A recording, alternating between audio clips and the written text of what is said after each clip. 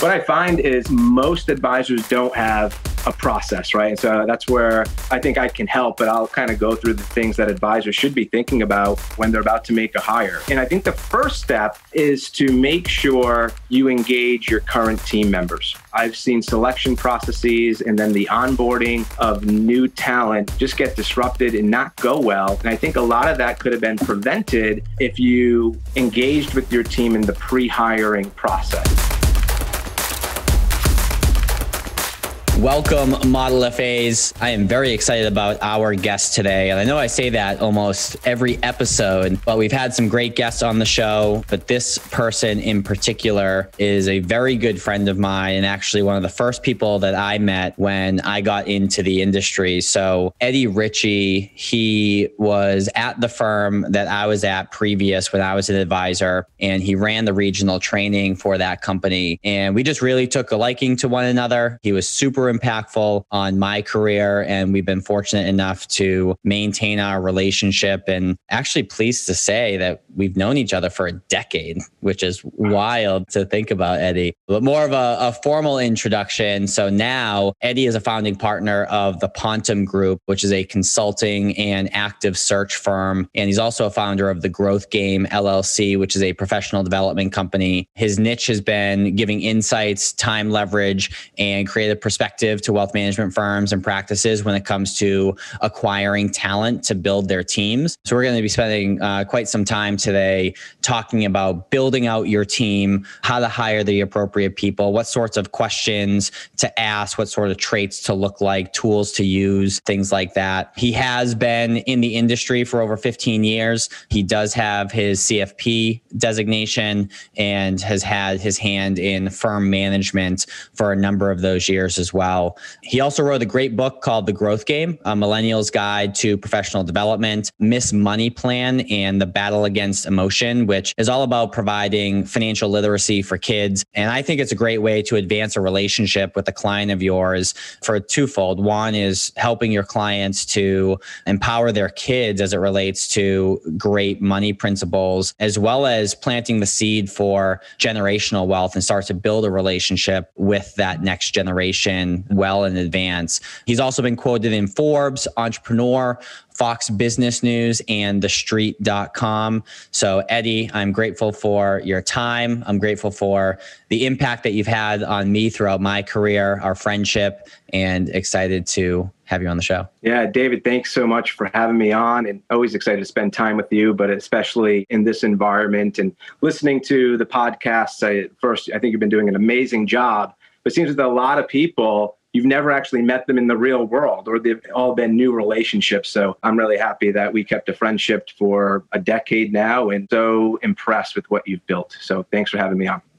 I appreciate that. Let's talk a little bit about your story. So I vividly remember, you know, coming out to New York City, you know, a couple years ago or so now, and you started to get that because you had been with the same firm for quite some time and you were starting to really get that entrepreneurial itch, I should say. So starting to get that entrepreneurial itch and I remember going out to dinner with you after presenting to your firm when I first got started. You're actually, I think, my first or one of the first speaking gigs that I ever had. So thank you for that. Yeah. And we went out to dinner afterwards. You let me know kind of the vision for what you wanted to create. And you also at that time, if I'm not mistaken, had an opportunity with a fintech company. You also had an opportunity to run an entire office, you know, on your own in the financial planning space. And you didn't take that bait as you put it and you ended up having your best year ever from you know an income standpoint you actually overshot your goal of of income by about a thousand bucks uh, if i remember our conversation correctly and all of this happened basically right when COVID all started. You were in the epicenter of that in New York City. So tell me a little bit about that journey starting a business you know with a non-working spouse two kids epicenter of covid not knowing what's going on and yet you still had your best year ever. So i'm sure that there's some good nuggets within that story. So if you can kind of expand on that to start i'd appreciate it yeah, sure. So um, let's first go back to that entrepreneurial itch that you said. And, you know, I think throughout my career, I've always had the itch and I'd always satisfy the itch through projects, right? And maybe it was a side hustle, maybe it was learning a, a different industry. But at the end of the day, I always felt as though I'd look back and regret if I didn't fully, right, pull the trigger and start a full time business, let's call it, for myself. And what made it really hard, David, is I loved the people I worked with. I loved my past careers. I was 95% happy in mm-hmm. what I was doing in the wealth management space and building firms and being in development and working with the people. You know, my mentor at the time, dear friend, and still is a great friend. So there was so much anxiety, I think, for me to say, you know, is this selfish of me? Like, we lived a great life.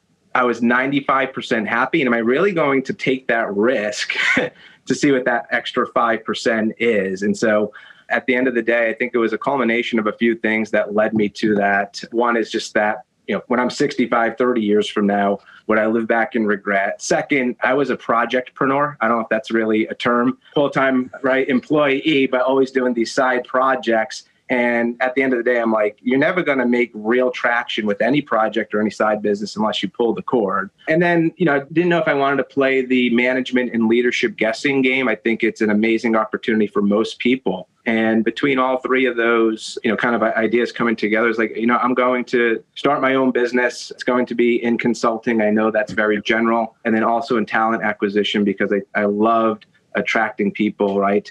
To the business in that fashion. So made the jump and this wasn't a, you know, hey, I'm on a nail here and I need to make a move now. And I have so much respect for the former organization that I said, hey, I think, you know, this is what I want to do. I'm not leaving to go to a competitor. I'm not leaving tomorrow. I can give a year here. And that would put me in the best position. I think it put my former firm in the best position to build a plan and do this thing the right way. So it was kind of full transparency with you know my mentor and the person I had so much respect for, and then launching. And so pulled the cord. You know, really officially it was January 1st of 2020. Uh, we were living in New York City, and you know you prepare for everything, right? Uh, you try hmm. to. You start a business, and you know there's going to be some uncertainty. But you know what wasn't on my business plan is a global pandemic and being at the epicenter, right? Eight weeks uh, into a startup business. So I'll never forget the month of March. And I just think it, it makes for a, a, cool story now coming out on the other side. But, uh, you know, I can, can go into more detail on that. But that's kind of the, the story from entrepreneurial itch to, to launching a business. So I say this first comment tongue in cheek, but aside from our dinner that we had, what other steps did you take to really build the confidence to ultimately take that leap because as i mentioned in introducing you right you have a non-working spouse who's you know head of household taking care of two kids. You know you're making good money in your prior career. There's a lot of predictability you know with that and stability i should say too. You know there was uh, in our conversations there was a mixture of excitement and self-doubt and you know confidence yet imposter syndrome and just the typical conundrum that people find themselves in when they take a chance on themselves. So, what were some of the things that either occurred or that you did or conversations that you had that ultimately helped build your confidence to a point to where you decided to ultimately take that leap of faith? Yeah, I think it was a real conversation with myself. And the first thing is, you know, I think that one of my worst traits as a leader or professional is I don't make decisions super fast. And I'm working on that. And so I, think it was just this sick of this anxiety of indecision and probably the second most important thing in my life, right? After my family, it's my career, and I love to work, right? And so it was just getting over this uncertainty was number one. Two was being upfront, right, with my current employer and what I wanted to do. I think that was important. Three, setting expectations with my wife. right? And saying, like, hey, here's the plan, outwork everybody. I think I'm somewhat creative and treat people well. But at the end of the day, like, I don't know. So, like, we're not going to buy a house for two years, right? Uh, here's all the things mm-hmm. that are going to happen. And she, you know, God bless my wife that she she deals with me, but she's just so, I guess, has belief in me, which is really important. It meant a lot, right? And sometimes so much so that I'm like, you make the decision. Like, where do you want to live? Do you want to continue to live in New York City? Do you want to go back to New England? What do you want to do? But having the right expectations with her and her buy in, I think, was very important. And then there's the financial space, right? And especially as a financial planner and being in the industry, like, shame on me if I don't properly financially prepare to make the jump. And so, like, you go to like these doomsday scenarios. It's like, hey, if I don't get one client, right, for X amount of years, can I still keep my lifestyle? And then, like, when are we taking loans out from, right, mm-hmm. the IRAs? And so you put yourself in that scenario and say, all right, well, I have, you know, a, a little bit of runway here, which is helpful, but you know that runway quickly can go away when you know March of 2020 can hit too, right? So that is part of the anxiety. But at the end of the day, you know, I think it was just this: try it, and your work ethic, your skills aren't going to disappear, and you'll have more experience under your belt. And if for some reason it didn't work out, and so far it's been going really good, and happy I made the move. So sometimes you just have to make the jump. And and the business isn't exactly the same as they planned right? But sometimes you just have to do it. Well what i'm hearing uh, is and you are from my experience slow to make decisions but not in a way that necessarily is going to hold you back, but in a way that's going to make whatever that decision is moving forward more predictable. So you are big into planning, you are big into setting expectations with the appropriate, you know, parties, whether it be business partners, you know, family members, etc. And once you have that plan, it's just a matter of executing that plan. And I would also go as far as to say, just based on, you know, your experience at the prior firm and the relationships that you built, where I would imagine worst case scenario, you could have gone back and they probably would have brought you back. And even if that wasn't the case, with your designation of CFP, with the connections that you have in the industry, like you could always go back and get a job you know so it's like what is the risk really is it embarrassment of going back and doing that is it you know a couple months or a couple years of a change in income which didn't happen you know thankfully with you so at the end of the day you know the risk is just your ability to go out and execute because you planned you set expectations the fail safe, you know, financially and, and prepping for this, as well as a fail safe. And, you know, again, you could always go back and get a job ultimately. Yeah, that was exactly right. And at the height of the pandemic, I was so blessed to have, you know, some people reach out and say, Hey, I know you just started a business eight weeks ago. You know, we're doing okay. Do you want to, you know, do you want to come back or run this or do that? And, you know, I may be tempting, but uh, so happy that, right, we didn't kind of take the bait and we stayed the course. So love it. So let's transition a little bit to your area of expertise, which I guess I'll summarize it with, you know, you help advisors staff up, right, with talented people. And I think oftentimes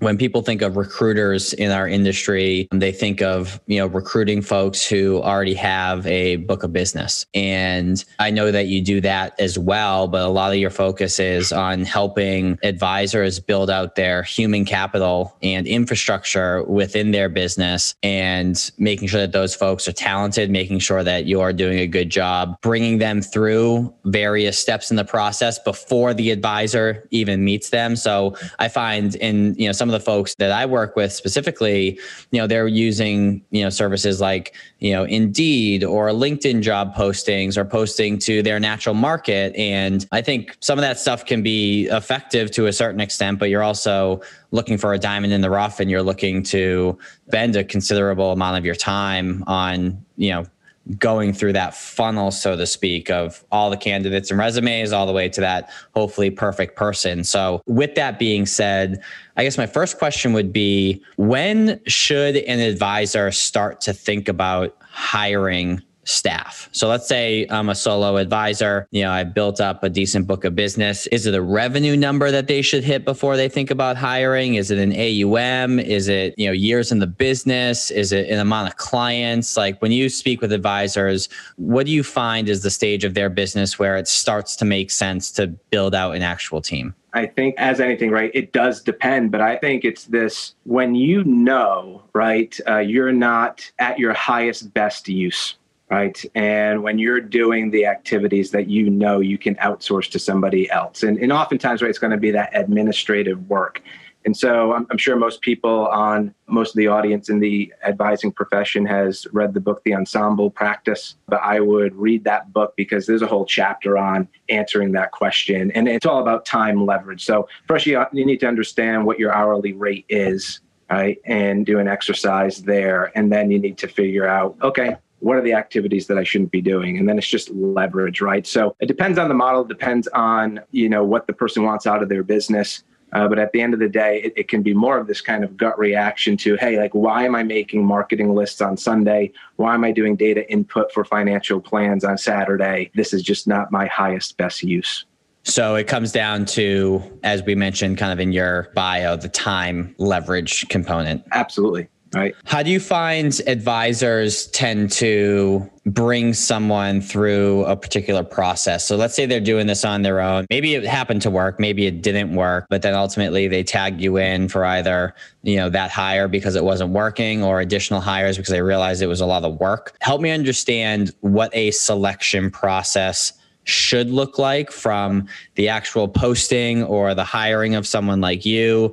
Like how many steps are there and what are you trying to find out during those steps? What I find is most advisors don't have a process, right? And so that's where I think I can help, but I'll kind of go through the things that advisors should be thinking about when they're about to make a hire. And I think the first step is to make sure you engage your current team members. I've seen selection processes and then the onboarding of new talent just get disrupted and not go well. And I think a lot of that could have been prevented if you engaged with your team in the pre hiring process. So I think a lot of this is built beforehand. So engage with your current team members, even if it's just one person. You want to fact find them and get their buy in on the hire. Because uh, even the most loyal employee, right, especially in a small practice, right, maybe not if you're you know at, at, a large wirehouse and there's more of a structure there and people are hiring for you but if you're in an independent practice and you're the business owner and you have a small team okay usually that practice is pretty lean and so what the first thing i'd do is i'd have a team meeting if you think you're going to make an additional hire fact find and get the buy-in from the other team members. Here's what I'm thinking. How can an additional hire make you even better at what you do? And then, right, revenue will grow, everybody wins, and we build this out. And I think if we skip that process, right, it could lead to some trouble either in selection or right with uh, team culture. Uh, once somebody is there. So, how are you fact finding and engaging the team is number one. On that point, if I may interject, are there particular questions that should be? So, you alluded to one, which is like, hey, if we were to hire someone, right, basically, what are some of the things that we would want them to do? What are some of the other questions that you would weave into that process? Yeah, sure. I mean, what's the team missing, right? Uh, I would ask your employees just in three words to describe the current culture. mm. And you might learn a lot from that. Like, hey, I thought our culture was this, but the team is saying this about the culture. And that can just help, right, with the hire. I think it's going back to if you did vision statements with your team, I know they've become cliche, but going through vision statement with your team and so that they can see, hey, here's where this other person fits. And then I'd also come up with, I, I know you're a Patriot fan, I'm a Patriot fan. I'm also a Bucks fan no, now, being that. in Florida and Brady coming down here. So give a little shout out to the Bucks. yeah, there you go. And so I think there's like this Bill Belichick do your job kind of exercise yeah. you can go through, right? With like, hey, here's your responsibilities now. And if we onboarded somebody else, right, how would that relieve you of some of these responsibilities so you can grow? And so I think that's really, again, I think those are the questions you want to be asking to get buy in. But you might also learn a little bit more about what your people are doing every day, what they love doing, what they're energized doing, what they don't love doing, and then hire around that. And so that's kind of what I do. And then the second thing. So before we get to that second thing, I do also want to mention let's say you're an advisor and it's just you right at this point. So you don't have the ability to have that team meeting. I think it would still be valuable to really do three things but with yourself as opposed to your team. So one as you mentioned try and identify either what your culture is and that culture can just be between you and your client or it can be the culture that you're aspiring for or towards. And also to the point of you know vision statement what is it that you're building? That's an exercise that you can certainly do on your own. Now since you don't have team members to ask hey what can we be hiring for? One tool that we use which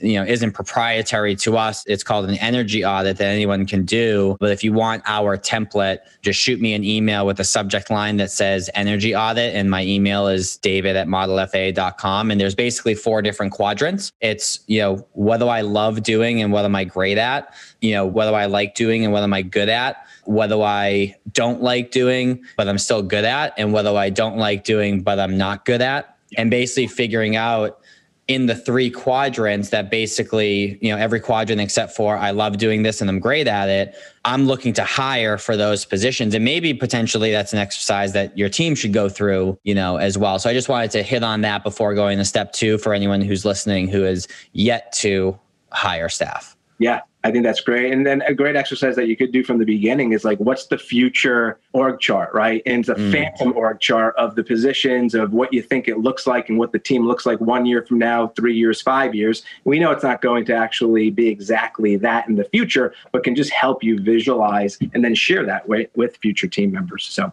awesome. And then, as part of that pre hiring process, David, the other thing after you engage in the team, if you do have a team, right, I think you then got to figure out obviously a role description, but inside of that role description is like describe what this person role is in like one sentence. like, what do they actually do for the business? If you could only speak about it in one sentence, and what are the responsibilities? And I think the more detailed here you can be, the greater the hire is going to have, right, of understanding what they need to do and is this the right role? So then it's responsibilities. Mm-hmm. Then third is what are the results? The third R is results, right? Like what are the results that we need, right, from this person and in the practice? And then four is remuneration, right? What are we going to pay them? So I think working through that is important. And then the final piece before you go to market to hire somebody is coming up with the onboarding and training plan. And it doesn't have to be a manifesto, but some type, right, of two page, three page milestone, timeline, benchmark of how you're going to onboard and train this person. And you do that before, okay, before you actually start interviewing. And the reason why is you want to, right, integrate with the team, like who's got what when this person comes on board Two is if you're an independent advisor, chances are you don't have a training program or an onboarding document. So you got to make that. And then third, when you are interviewing somebody, it's going to show that you have your stuff together. If you can say in an interview, hey, if you come on board, right, by month one, here's what you're going to learn, right? Month two, who here's who's going to teach you that.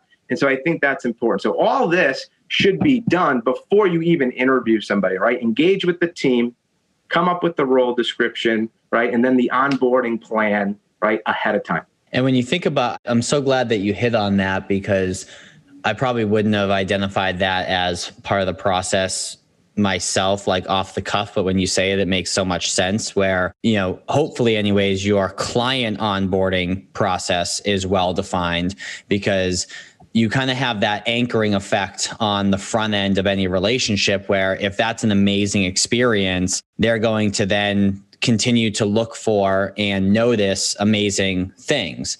If they have a negative experience at the beginning and they come in and, you know, you don't welcome them properly, you don't, I mean, even little things like give them some, you know, company branded swag to like make them feel good on day one, right? Take them out to lunch. But if they just come in and they're just kind of like sitting there waiting to be told what to do immediately they have a bad taste in their mouth and then their reticular activating system kicks in you know the brain's filter and they filter out all the good stuff and they start only looking you know unconsciously for the bad stuff and it's just a bad experience. So i'm, I'm very glad that you brought that up. So let's say for example whether it's you know through you and some of the services that you provide or they're doing it on their own once they actually get a candidate who is interested what does that process look like from there? Is it two steps? Is it 10 steps? What are they talking about? Again i think it depends on the practice. I think it depends on the role the market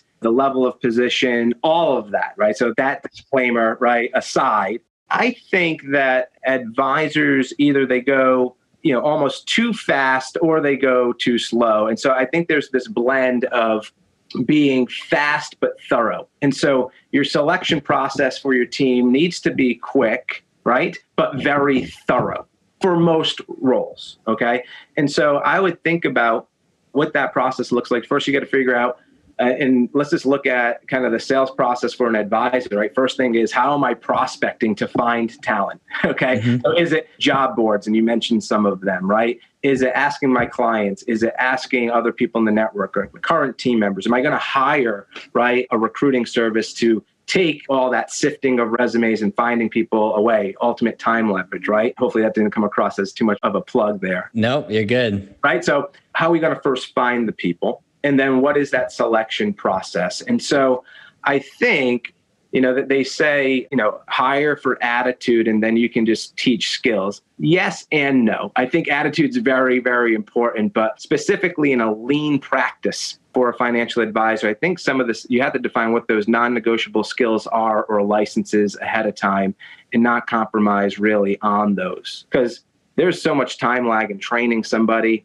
right? There's going to be that J curve in production. You need to get it right. So, what are the non negotiables from a skill standpoint or license standpoint? And in the interview process, I think that first interview should be uh, more or less figuring out can I work with this person, right? Is their attitude right? How do I think that they would fit with the team?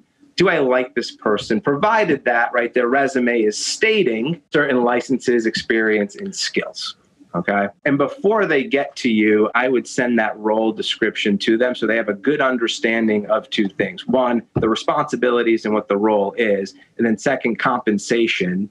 Uh, I think a lot of people hide that until the end. And I think you could waste a lot of time. So just be real, give a range, say, hey, we're going to hire this person. Here's the qualifications, here's the role, and we're going to pay them somewhere between X and Y, right, depending on experience. And are you making them aware of that number or are you asking what their number is in advance? Is that kind of an important consideration to figure out how to deliver that information or gather that information? Yeah, I mean, I think, you know, it, it should be on the role description, right? So if somebody's actively applying to a role online, then they should see it and already have an understanding okay. of it. But if it's from a referral, right, or from your personal network, I would send the role description with the actual range ahead of time. Okay. That makes sense. Cool. And then I think you know some advisors like to use assessments, whether it's for attention to detail, whether it's for math, grammar, Excel. I think those can help you make a more uh, objective hire. But I think where the rubber really meets the road, and I don't see a lot of advisors doing this, but actually give them an assignment, maybe in between that first interview and then the next interview. And that assignment should be whatever the key job function is that you're hiring them for. So, for example, if it's a administrative assistant or CSA, right, client service advisor, anything like that, it could just be have them write an email, right, and send it to you based on three different fictitious client scenarios. So then you can see how they interact, right? Maybe written form, how they would handle a certain client situation. If it's a director of investments or somebody that's going to be doing portfolio management for you, give them a chance to do a takeover proposal, right? Say, you know take the clients' names off, but say, hey, here's a portfolio that we're looking to acquire. Uh, what do you see as the deficiencies, or what would you recommend this client to do? And give them two to three days to do that, and send it so you can actually see their work right uh, before the hire. I think that's fair game. And I think you are trusting the resume, but also verifying the skill set. And that way you see, right, how much training they're actually going to need and how they think before you hire them.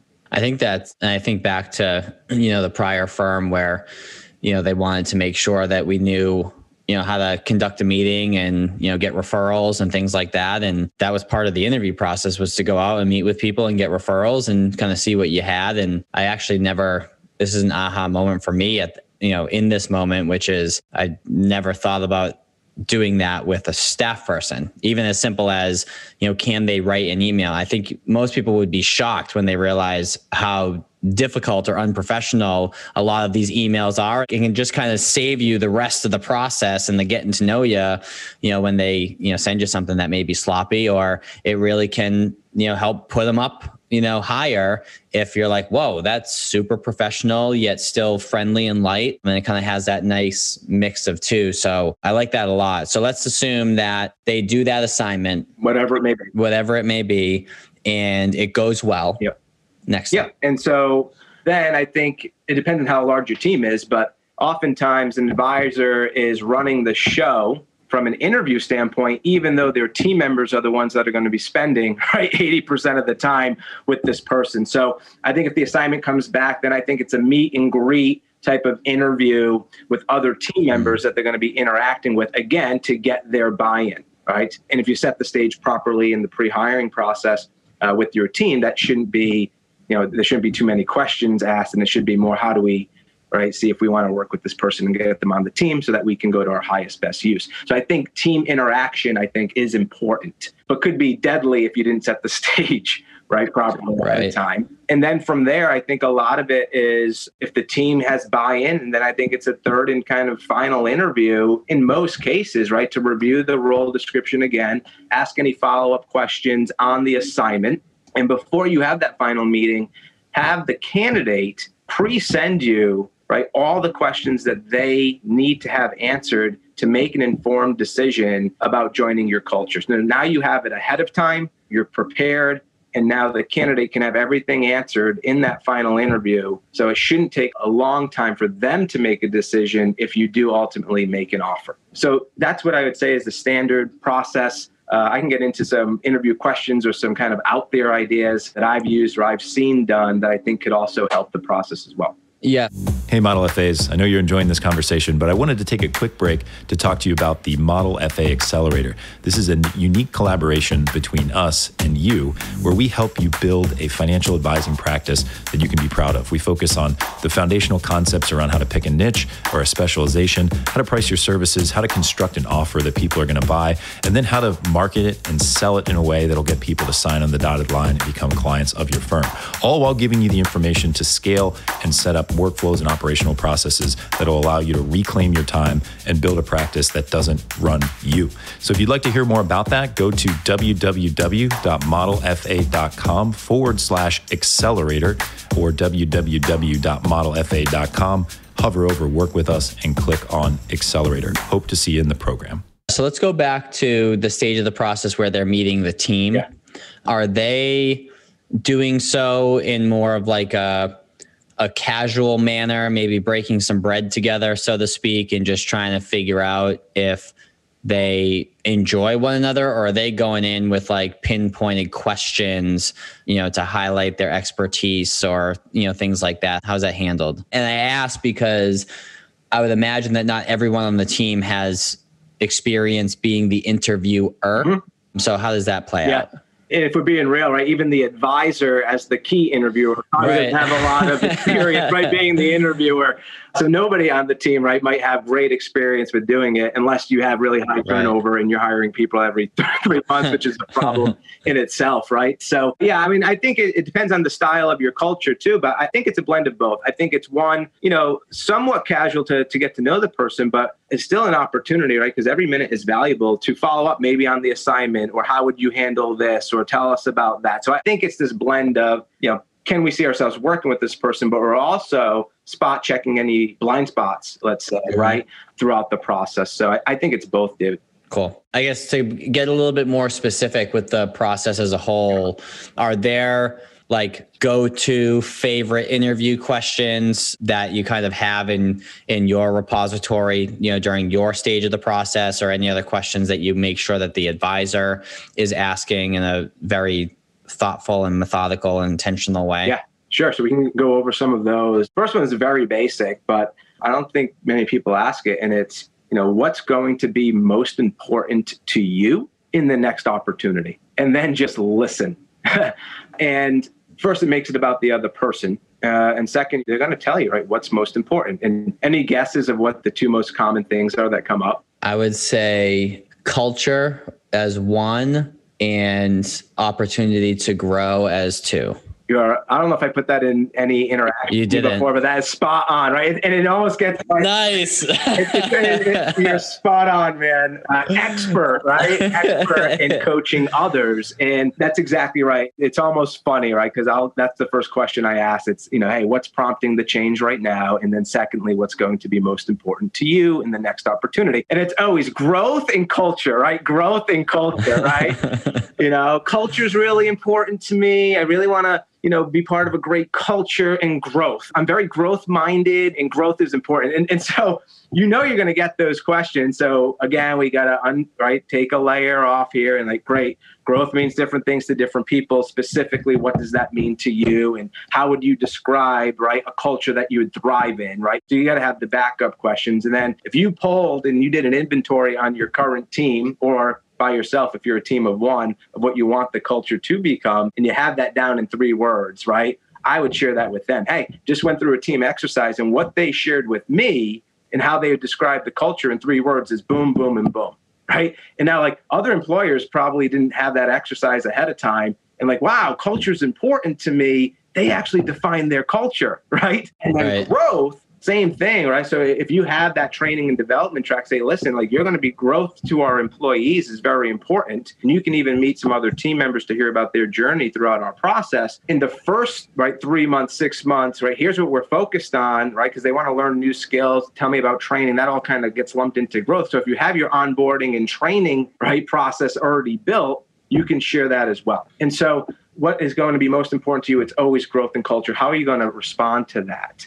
Right? Because mm-hmm. they're interviewing you too. And even at a pandemic in the financial services space and, and wealth management space, you still need to be great at attracting talent. It's not this pool out there, right? Because it's very specific with licenses and experience. There's not this pool right. out there that you're always in control, right? They're scouting you out, as you already know. Second question I think is good is, you know, David, I know we're going to go fantasy world here a little bit, but if you could have a completely customized role that's absolutely perfect for you right now, we know that doesn't exist, but describe the absolute perfect role for you customized right now through your career stage and then listen to what they're going to be doing. And if they're sharing that, you want to see like how far off are we, for being honest with ourselves, of what they want and what they feel as though they're energized to do and what this role really is. So I think that's a key one. And then finally, like if you had a magic wand, right, and could change anything about your current position or even the wealth management industry, like what would you change and just get their thinking, right?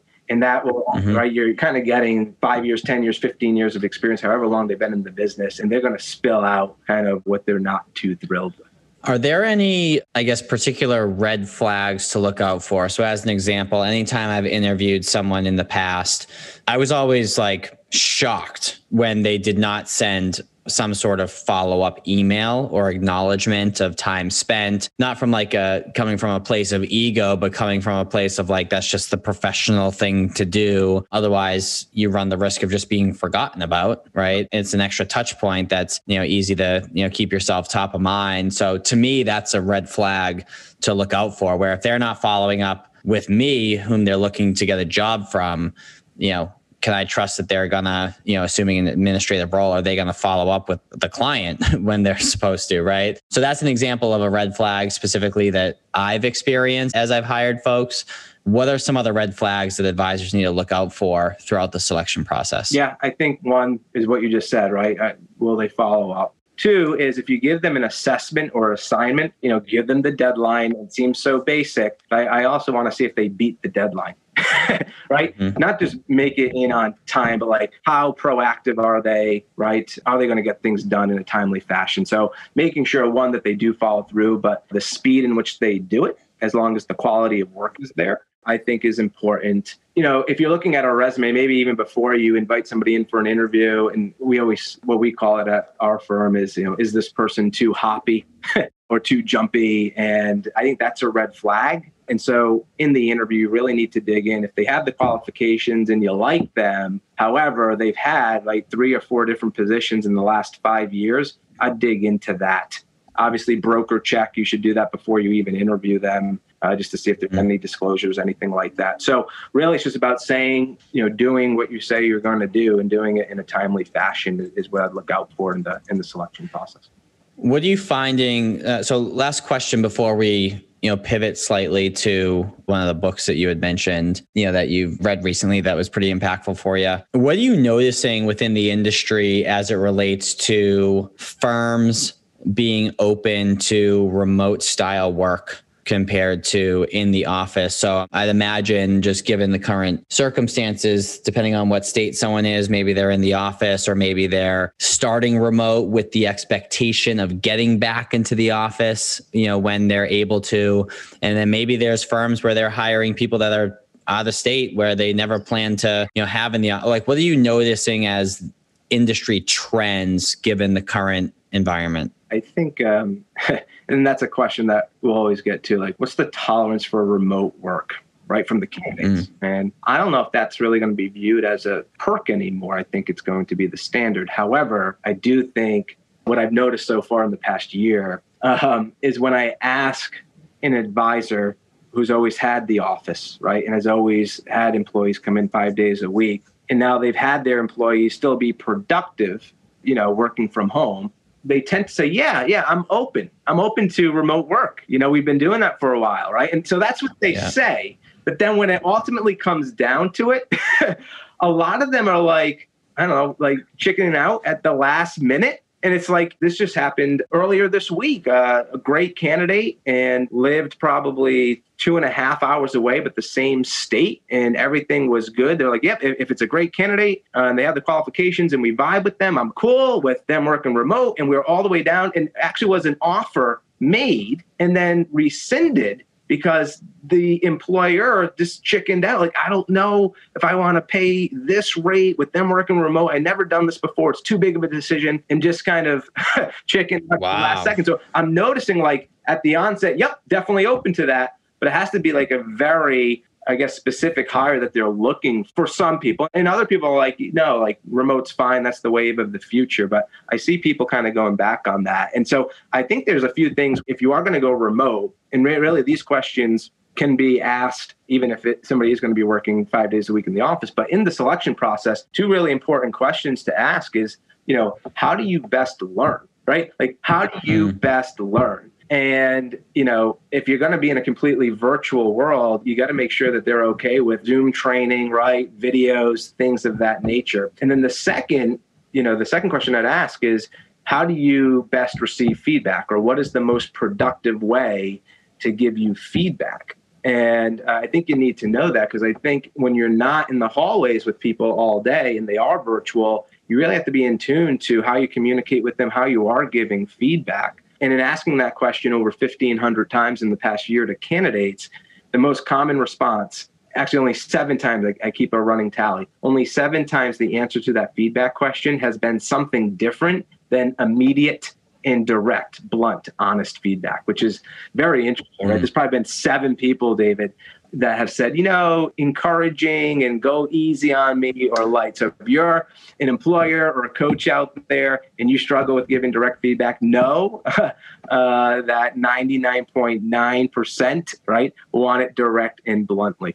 Love it. One of my biggest takeaways there is that if there's anyone listening who's open to remote work or hiring remote workers, Eddy may have a candidate for you that was just teased a little bit with uh, an offer and then rescinded. So CFP, uh, 766, 10 years of planning experience. Love it. Well, uh, Eddy, I think that this was a very, oftentimes I find myself with certain guests, depending on the topic that we're discussing, kind of going off on productive tangents, I would say, yep. valuable tangents. But I feel like this episode was something where we kind of just went step by step by step by step in a way in which people can really get organized value from this as opposed to really trying to piece it together. So I appreciate the insight on the recruiting and selection process, some of the questions to ask, the strategies to get team buy in, making sure that you're hiring someone who's a great cultural fit and bringing them through the process. So I, I just thought it was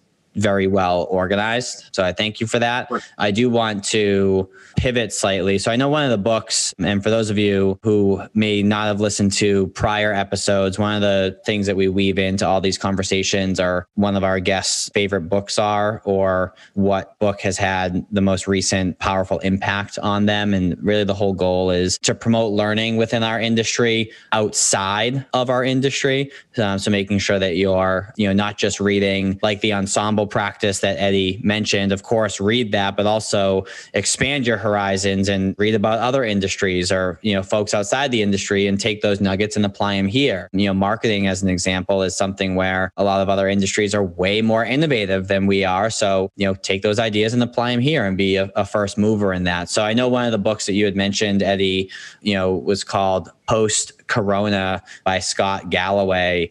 What were some of the nuggets within that book that you think you know could be helpful to some of the folks listening? Yeah. So first is, I mean, it was published in October, obviously, right, or, August or October. Mm. So it's all relevant, timely right. information. Maybe one of the first business books published right by a thought leader after the pandemic right and i'm kind of like bifurcating my life into like pre-pandemic and post-pandemic. So that's why I love them. Yeah. And you probably heard right a lot of what other thought leaders are saying, but what the book said is, you know, businesses that were in a good spot, you know, believe it or not, right? It's pretty obvious, but they're going to excel during a crisis, right? And those that were weaker, right, are going to go away. And so it was just the acceleration, right, of businesses. Uh, that's what the pandemic did. And what he specifically talks about, there's a lot in the book, but what he specifically talks about is you know what industries he feels is going to be disrupted because of the pandemic. And he had kind of this disruption equation. And what he said was if an industry has perpetually increased their price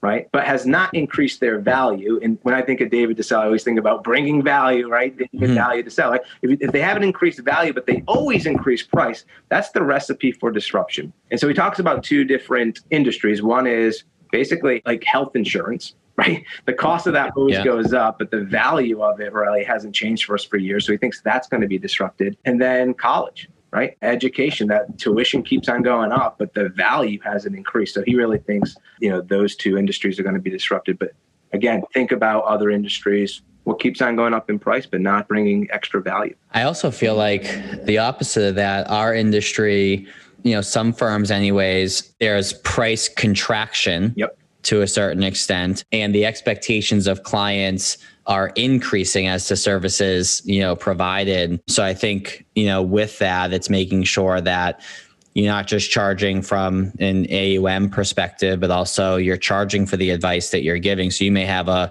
a lower, you know, AUM fee than what it used to be, but you're making up for that from a planning perspective so that you're really monetizing the thing that's most valuable which is your advice.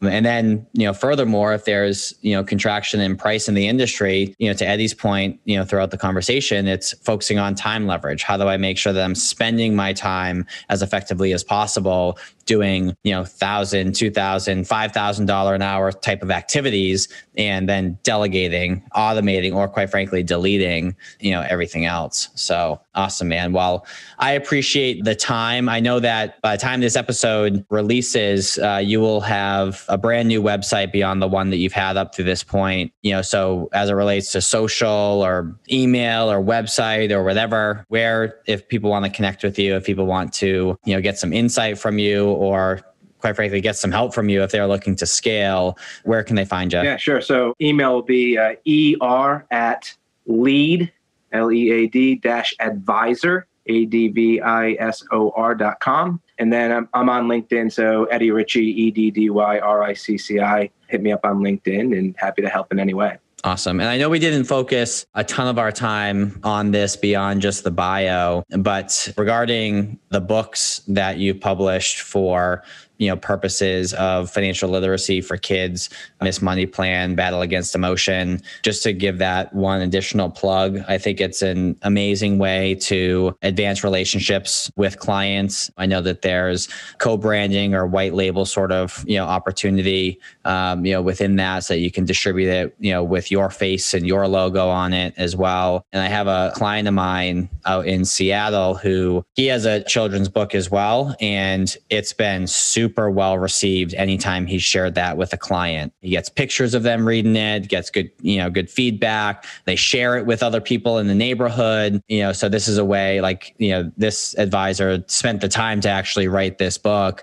Well, Eddy did that too, but you can white label it and you know leverage it as your own so save some time but still get the same effect. So for those of you who are interested in that you know feel free to touch base with eddy in that regard. I think it's a great you know gift for around birthdays or you know certain holidays and things like that. So you know could be a nice way to advance relationships within your current book of business. Okay. with that being said we do have uh, two asks for everyone who has listened to the show. First and foremost, grateful for the time spent. Hope you found value. I think this is an episode that, quite frankly, I think it may even make sense to turn this into a blog to you know use for you and use for us type of thing because it was in order and pretty sequential in nature. You know, so if you found value, please go ahead and share this with some other folks that you think would find it helpful as well. And then also, if you leave us a review on iTunes, uh, that would just really help with visibility, and get some more ears on the podcast as well. So if you leave a review and you just take a screenshot of that once it posts and shoot me a text with that at 978 228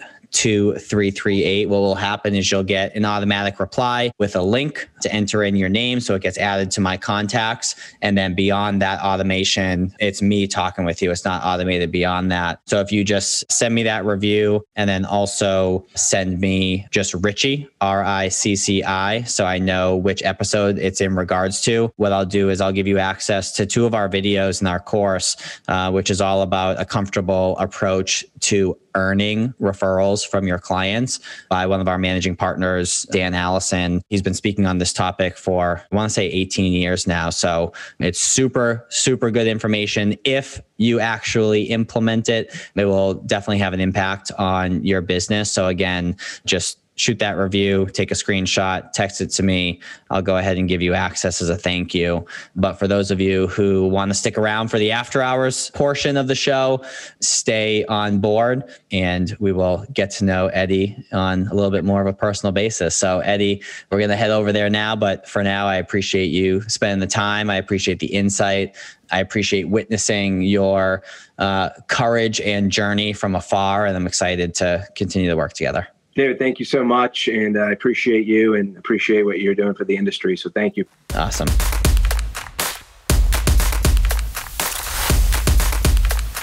Cool. So, for everyone who's listening, I'm going to put Eddy on the spot here. So Eddy's done a number of, you know, appearances in either, you know, situations like this or, you know, presenting to audiences virtually or in person. And in every single interaction like that that he's had, he's had the questions that you know we're going to be asked so that he could very much prepare for it and come super polished. So based on how we run the show here and my personal connection with eddy i refuse to give him the questions. So we you know we talked about some topics obviously but in all seriousness you know for not knowing what i was going to ask you in advance i think you crushed it and hopefully it was you know comfortable and whatnot for you because even if it wasn't it appeared as if it was. So i think you did quite frankly an awesome job you know really succinctly going through the answers to the various things that we were talking about. Thank you. And you know what I wanted to do there is, you know, advisors don't get the training manual or probably spend enough time on talent acquisition, right? They understand client mm-hmm. acquisition, mm-hmm. and that's what they're obsessed over all the time. But there's going to be a point where talent acquisition becomes almost as important right as client acquisition and hopefully then right. some tips right to help formulate a process when it comes time to hire so was supposed to be a 30 minute crash course and some best practices. So hopefully it was helpful. Love it. Definitely was. And I appreciate it. So, a couple would you rather questions. Um, the first Actually, one. Uh, David, I do have some would you rather questions. Only. Oh, you're you. turning the you're turning the table. Turning this is the, the first table, guest buddy. that's ever done it. And so, first of all, how about me in a t shirt? it's after hours. How about me in a t shirt? That was the most uncomfortable part. I'm like, I oh. feel like to sell. I'm going to wear a t shirt instead of the suit.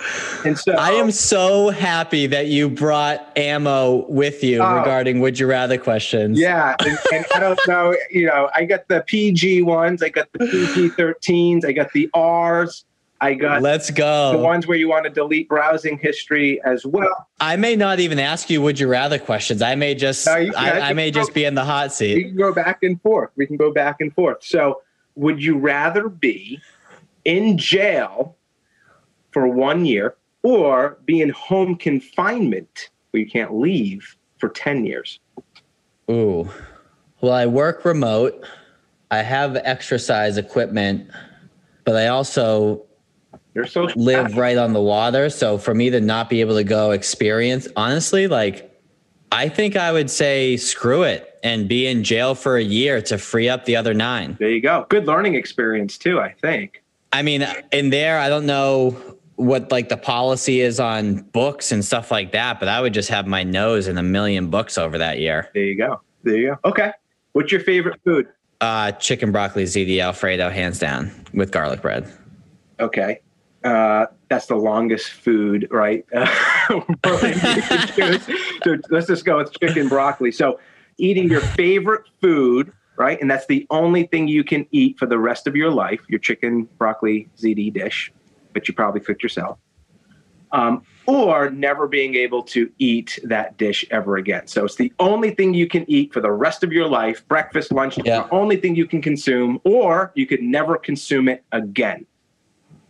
Uh, never consume it again because I would be a fat ass if I ate that for every single meal of my life. So I would uh, sacrifice that because there's plenty of other delicious things.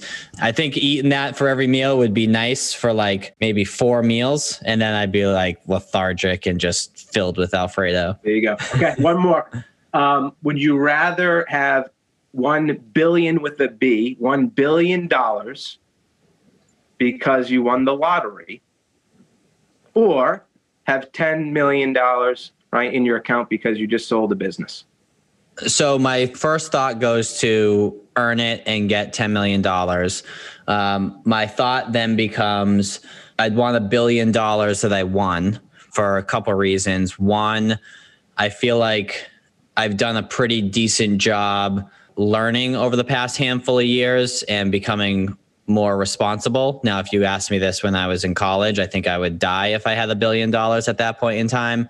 I also feel as if my parents and mentors have done a great job instilling proper values in me to where I would be able to handle that money. And then I think about the amount of good I could do with a billion compared to 10 million. And I think about the businesses that I could create and the businesses that I could invest in others that they're creating with a billion dollars. So for all of those reasons, I would have no shame in scratching the ticket for a billion dollars compared to selling a business for 10 million because I feel like don't get me wrong, I'm definitely buying a Lambo, um, but I can also do a lot of good with that uh, with that money too. There you go. There you go. Cool, my turn. Yeah, sure. For those of you who are listening, if you're a guest on our show and you haven't, you know, done the recording yet, feel free to come at me with some would you rather questions because usually I'm just putting the other people on the on the hot seat. So um, this question would have been more relevant if you didn't get a haircut. So for those of you who are just listening, um, you know, Eddy's always been, you know, uh, clean cut in his appearance, and then once COVID and quarantine hit he really embraced the no haircut thing and, and grew his hair out. And then he, of course, he shows up to this with a fresh cut. So let's assume that you still have long hair. Okay. Um, would you rather always have a mullet or a ponytail haircut? I think probably ponytail. Ponytail? Yeah. Cool. Yep. I saw a meme recently with a dog that had a mullet. And the caption was like, "Can we just make this a thing?" It was the funniest looking thing, and he was standing with so much confidence as well.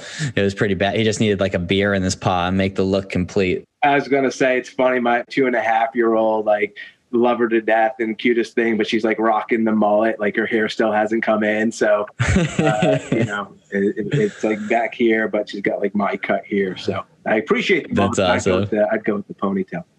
It looks cute on her, but not uh, yeah, not not for me. Would you rather have a time machine or a teleporter? I'm gonna go with teleporter Why? because um, I just think it's you know I, well, of course I'm gonna go deeper with the question, right? Can I change history with the time machine, or am I just observing it? That's up to the time Oh, traveler. I- I'm gonna I'm gonna guess that I can't actually adjust anything in the past. So I think to build a more efficient tomorrow, it would be teleporting to the places that I wanted to be very quickly and go see the world that way. Love it. Yeah, I picked teleporter too. That way I can, if I want to get into a scenario, just like that. If I want to get out of a scenario, peace out. And I mean, who likes being on the plane for 20 hours across the world? I'd rather just snap my fingers and, exactly. and be there. Final question Would you rather go without shampoo for the rest of your life or toothpaste for the rest of your life? Yeah, I mean, shampoo without question. So, like, I've been losing my hair, right, for like 10 years. So, if I cut the hair medication, I'd just be bald anyway, you know, the Propecia pills that have been taken for 10 years, and then we wouldn't have a problem at all. So it's funny, uh, you know, I don't know how this probably is not appropriate, so we can just kind of cut it, but I'll never forget. I was new in an organization, just moved, and somebody who's become a very close friend of mine. I love him. Asked me a "Would you rather" question. I wasn't really familiar with them, and it was like the second, yeah. my second day, and we're out like casually having drinks, and it was like and I'll tone it down a little bit, is like, would you rather make love to a goat or would you rather not make love to a goat but everybody thinks you made love to a goat. I was like, oh, who am I? Like, what is this all about? You know? And so, anyway, that's kind of a conundrum. That's, uh, Wow. That's not my question, by the way. And I felt uncomfortable answering it. But when you go through what you rather questions, that's the one that always sticks in my mind because of this person. So, anyway. Well, one of the four principles in the book, I think it's just called the four principles, is to not care what other people think. So I'd rather still have my personal pride knowing that I didn't do it. And as long as I abide by that principle within the four principles, then it doesn't matter what anyone thinks. So that's how I, I know you weren't asking it, but that's how I'm answering it. Yeah, there you go. Very good. Makes sense, buddy. Awesome. Well, Eddy, this was fun. Seriously, I really appreciate you bringing some questions for me as well, because it kind of puts me on the spot. So I know uh, we like to bust each other's chops in various ways, and I'm glad that you came prepared to do so today. There you go. Well, it's been fun. And uh, again, appreciate it, David. And we'll talk soon. Thank you. Awesome. Thanks, everyone, for listening. Hopefully, there were some laughs. And as always, we will see you on the next episode.